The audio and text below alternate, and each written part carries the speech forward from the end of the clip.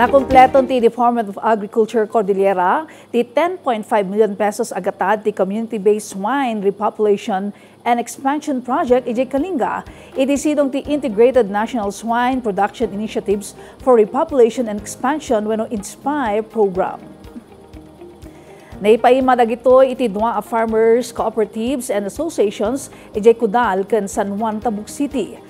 Karaman iti pasilidad ti perimeter fence, climate-controlled animal house waste management system biogas, basic farm equipment, shower area, initial stocks, ti piglets, feeds, ken biologics. Insingasing ti ahensya ti panagsanay dagiti benepisaryo iti swine production and meat processing tapno may pasigurado ti produksyon ti pork products.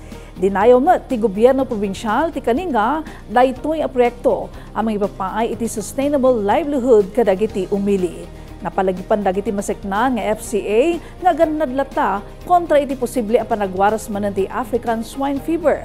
Panggap ti Inspire program ang may sa aki initiative ti DA National Livestock Program ang mapasayaat ti biosecurity and disease control measures tapno mapaduras pay ti local swine industry.